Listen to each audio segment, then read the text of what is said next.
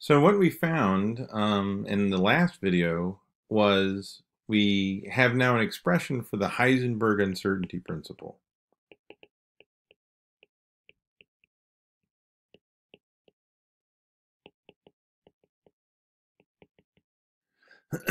which basically says that there's now this there's a um, there's a restriction on position and momentum coupled together we can have any position or any momentum we want, but for a, a quantum particle, um, those two things, our knowledge of them are is is what is has to be labeled by the uncertainty.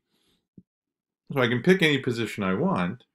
I can have my particle at this position right here, but the the momentum that is run it, it has now the measured momentum has some uncertainty to it. Um, and if this position is really small, if my knowledge of that position is really small, then my knowledge of the momentum is large. okay, so um, so what you know, as a nuclear and particle physicist, where this impacts me is particle decays, and when particles are stable, um, then when they, you know, it takes a long, long time for them to decay, then our knowledge of um, their energy um, is is very well known. And so if I take something like the proton, the proton, for all intents and purposes, is a stable particle. We have not found in the four, in the 13.7 billion years that the universe has been in existence, we haven't had any evidence for a proton decaying.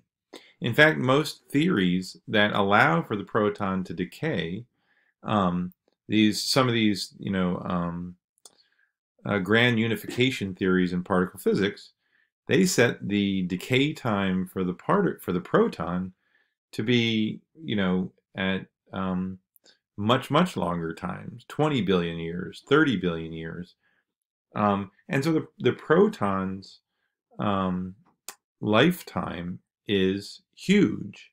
And so we've never found a proton that decays.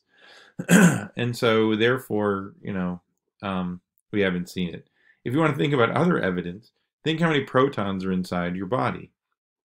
You're, you're made of, you know, human beings are made mostly of water, I don't know, 80% of water, something like that, which contains two proton, two hydrogens, and an oxygen. So there you're talking like um, eight protons and oxygen, two hydrogens, 10 protons.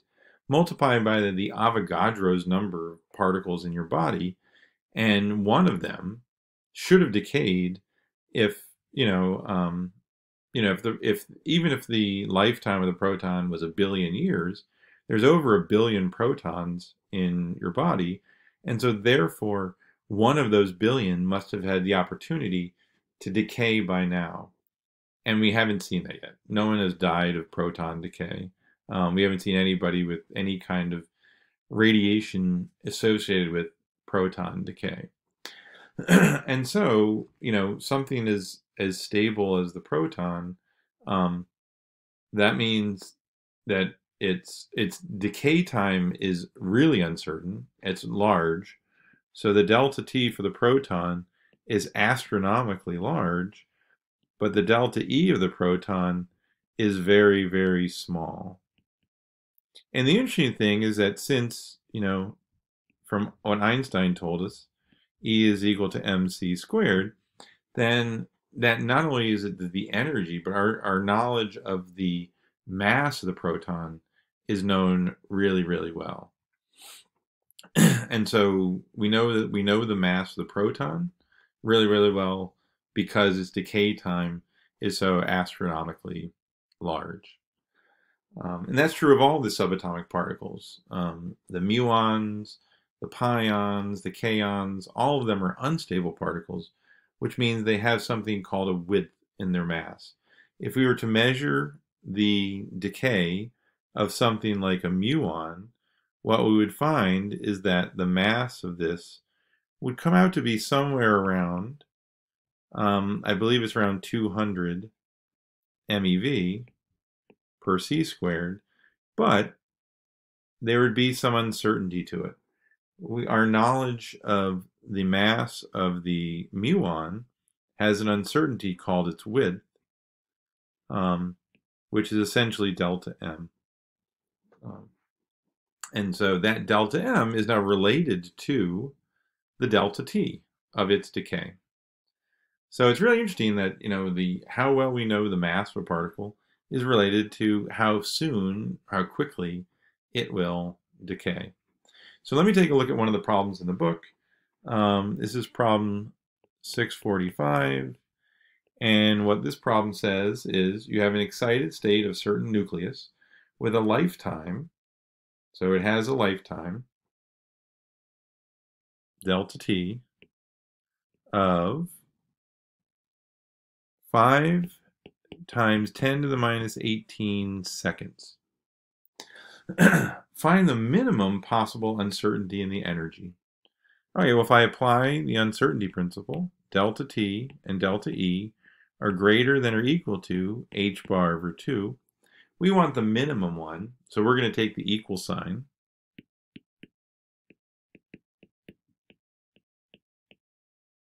Uh, and we get h bar over 2, like so.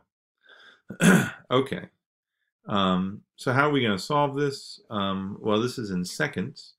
And so um, what uh, um, so what we can do is we'll just plug in the value for h bar. Um, we could try some tricks like multiplying by c um, and such, but in the end, I think we're just going to have a c laying around um, because there isn't a mass around. So this delta E is essentially h bar over 2 delta t. And so now if I look in the front cover of the book, I say, what is h bar? And h bar is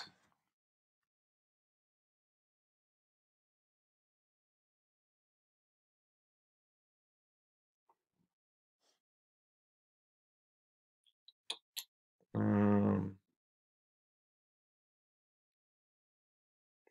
H bar. H bar is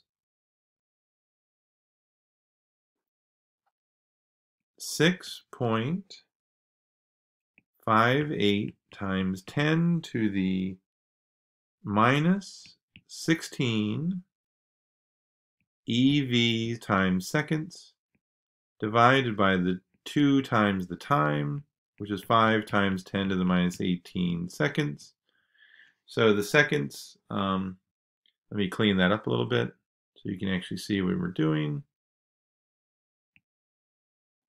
So Planck's constant h bar is 6.58 times 10 to the minus 16 EVs times seconds. So the seconds cancel. And what we're left with now is 6.58 times 10 to the minus 16 divided by 10 times 10 to the minus 18, which is essentially 10 to the minus 17. So what I get is 6.58 times 10 to the minus 16 plus 17 EVs, or 6.58 times 10.